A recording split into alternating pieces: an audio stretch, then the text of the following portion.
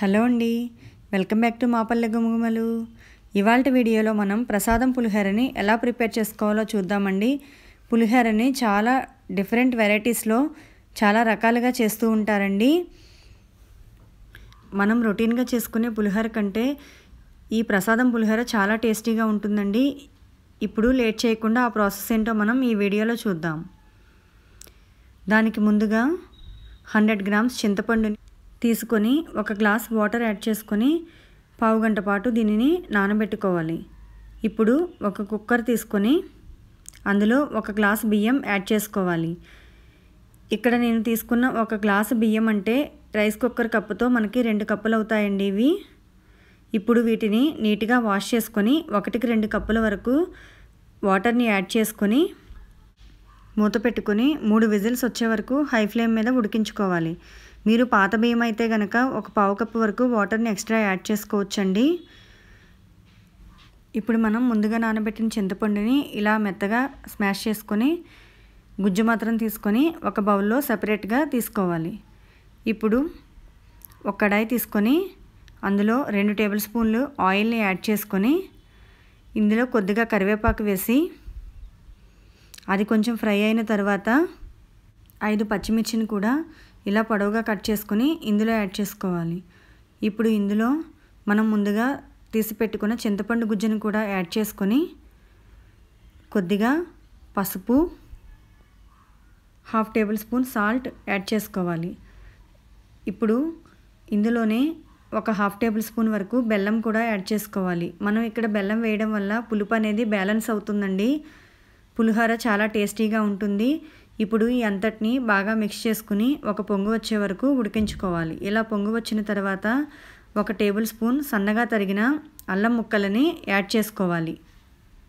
మరలా అంతటిని ఒకసారి బాగా మిక్స్ చేసుకొని ఇప్పుడు ఇందులో కొంచెం ఇంగువని యాడ్ చేసుకోవాలండి. దీనిని మీకు ఇష్టమైతే వేసుకోవచ్చు లేకపోతే స్కిప్ చేయొచ్చు.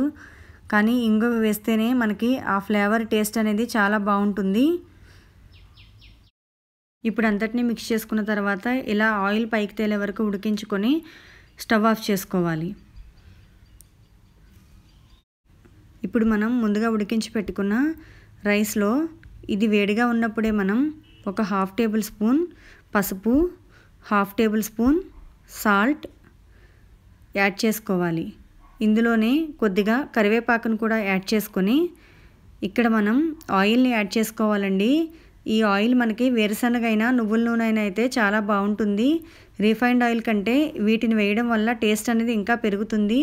ఇక్కడ నేను నువ్వుల నూనెని యాడ్ చేశానండి.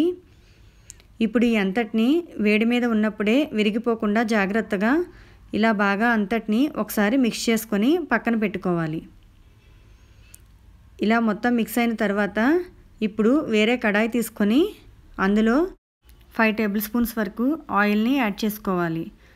ఇక్కడ మనకి ఆయిల్ బాగా హీట్ అయిన తర్వాత ఒక గుప్పెడు పల్లీలని యాడ్ చేసుకొని వీటిని కొంచెం ఫ్రై చేసుకోవాలి. ఇవి కొంచెం ఫ్రై అయిన తర్వాత రెండు టేబుల్ స్పూన్ల శనగపప్పు ఒక టేబుల్ స్పూన్ మినప్పప్పు హాఫ్ టేబుల్ స్పూన్ చిన్న ఆవాలు యాడ్ చేసుకోవాలి. ఇక్కడ చిన్నవి వేయడం వల్ల పులిహోరలో అవి ఫ్లేవర్ అనేది మనకి చాలా బాగుంటుందండి. ఇప్పుడు ఈ అంతటినీ మిక్స్ చేసుకొని బాగా ఫ్రై చేసుకోవాలి. ఇవి కొంచెం ఫ్రై అయిన తర్వాత ఐదు ఎండుమిర్చిని ఇలా మధ్యలోకి ముక్కలుగా చేసుకొని ఇందులో యాడ్ చేసుకొని ఈ తాలింపు మొత్తాన్ని బాగా ఫ్రై చేసుకొని ఇప్పుడు ఫ్రై అయింది కదా స్టవ్ ఆఫ్ చేసి పక్కన పెట్టుకుందాం. ఇప్పుడు మనం ముందుగా కలుపుకున్న రైస్లో ఉడికించి పెట్టుకున్న చింతపండు పేస్ట్ని కూడా యాడ్ చేసుకొని ఈ అంతటిని బాగా కలిసేలాగా మిక్స్ చేసుకోవాలి.